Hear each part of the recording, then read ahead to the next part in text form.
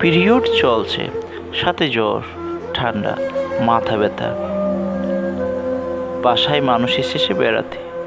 সারাদিন প্রচুর কাজ, রান্নাবান্না করে ক্লান্ত সারাদিন। সন্ধ্যায় ফ্রি হইলাম। ছোট্ট ননদগুলো বায়না করল, ভাবি, শাড়ি পরবো। শাড়ি পরিয়ে দাও আর সাজিয়ে দাও। সেটাও করে দিলাম।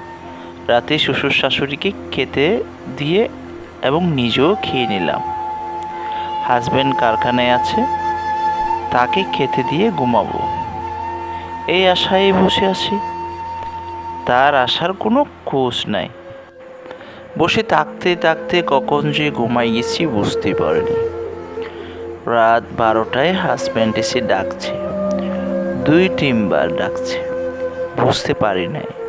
তারপর সে তার মাকে ডাকছে। উনি একবারই উঠে পড়েছে। এদিকে আমারও ঘুম ভেঙে গেছে।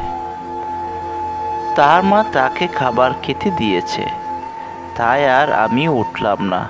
শরীরটা খুব খারাপ করছিল বলে। হাজবেন্ড খাওয়া শেষ করে ঘরে এসে বলছে, এখন উঠলা? কেন কতবার ডাকলাম? তখন উঠলা না তো? এই জন্য বলে, মা আর বউ কখনো এক হয় না। মা মাই হয়। মাকে একবার ডাকতেই অমনি উঠে খেতে দিল।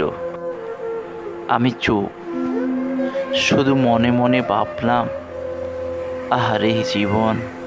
প্রিয় বন্ধুরা, আমার ভিডিওটি ভালো লাগলে চ্যানেলটি সাবস্ক্রাইব করবেন এবং আরও সুন্দর সুন্দর ভিডিও পেতে পাশে থাকা নোটিফিকেশন বেল আইকনটি ক্লিক করে রাখার অনুরোধ রইল।